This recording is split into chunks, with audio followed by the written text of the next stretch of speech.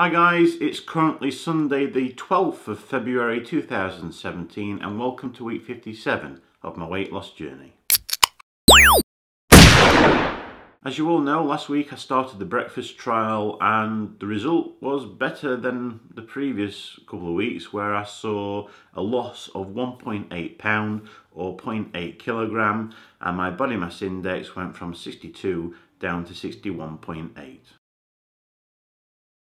If we start off by looking at my calorie consumption for the past week, which you can see in the graph above, the average of this was 2,607 compared to the previous week at 2,689. So I have managed to reduce it slightly, but I'm still well, well, I'm still well within my 2,700 calorie average allowance for the week.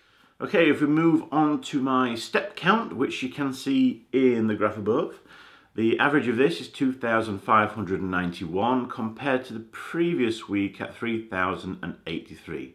So I have not done as much this week.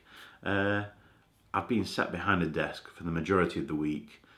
My walking has pretty much been inexistent. Okay, so it's that time of the week where we all get to see if I've managed to lose any more weight.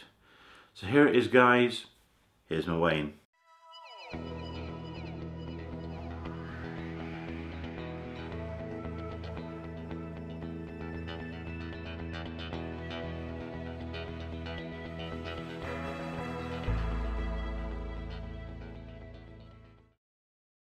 I now weigh 210.3 kilograms, which is 463.6 pounds or 33 stone, 1.6 pound in my money. This means since last Saturday, I've managed to lose 1.1 kilogram or 2.4 pounds, which is precisely the amount of weight I needed to lose to get back to where I was before the Christmas gain overindulgence, whatever you want to call it, but I'm now lost all of the Christmas weight and I can start to break new ground again. So, high five, or is it more of a fist pump now? Fist pump, we've got it. Moving on.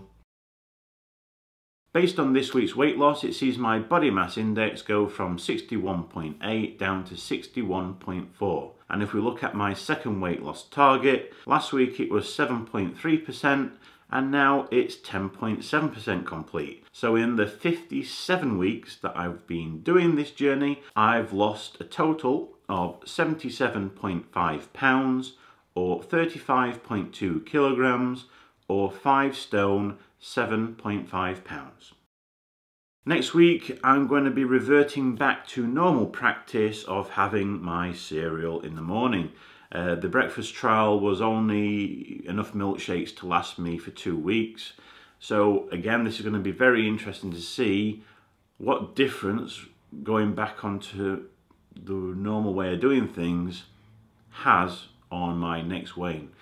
But I wouldn't, I wouldn't, uh, I wouldn't have thought there would be too much of a difference because the calories in the milkshake is pretty much the same as a bowl of cereal but there is a lot more protein in the milkshake obviously.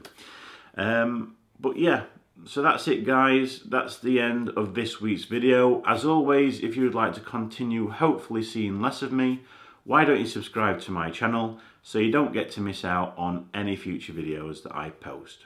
I wish you all a fantastic week and I'll see you all again next Sunday.